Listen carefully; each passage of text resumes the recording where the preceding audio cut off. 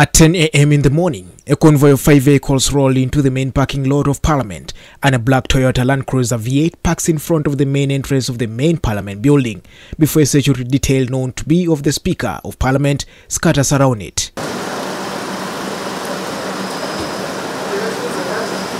As the bodyguard opens the back right door, who comes out is a big surprise to members of Parliament that were around. It was the Speaker Anita Annet Among, dressed immaculately in a blue dress and black shoes.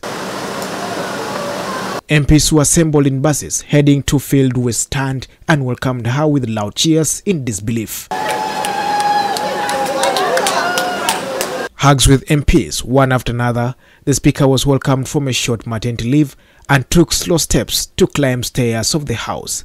She proceeded to her office that sits on the fifth floor in the company of MPs. Through her ex-handle, formerly Twitter, Among noted that she has returned for official duties after some time away from recess in which the Almighty Lord blessed her with twins. She went on to applaud the Deputy Speaker Thomas Tayebwa, who has been in charge of the House during her absence. Among returns amidst a stalemate in the House which was escalated by the opposition members of Parliament who boycotted Parliament sittings in demand for a comprehensive report from government on issues of missing persons and continued human rights violations by the state agencies. Still, the House has been grappling with ridicule of the executive, which has been overturning House recommendations. Meanwhile, labor laws in Uganda provide a female employee mandatory leave as a consequence of pregnancy. This maternity leave is for a period of 90 working days.